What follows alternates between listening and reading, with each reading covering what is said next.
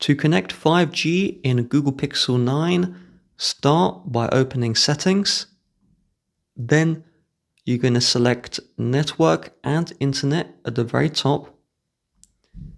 Then we're going to choose the SIMs. We will then select our carrier name. And if we scroll down, you'll see the preferred network type. Uh, we just want to make sure this is set to 5G.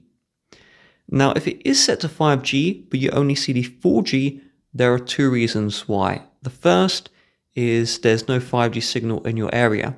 Now, I'm I live next to a 5G cell tower, so why am I still getting 4G? Well, the second reason is to save battery life. Google only turns on the 5G when you're using heavy amounts of content.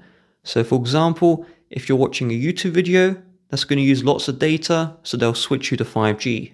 And so as long as you have the 5G as the preferred network type, you really just have to wait until using high amounts of data and you have a strong enough single uh, signal, then it will show 5G. There's no way to force 5G like you can on an iPhone or Samsung. Google have not implemented the feature, uh, so the battery life is saved.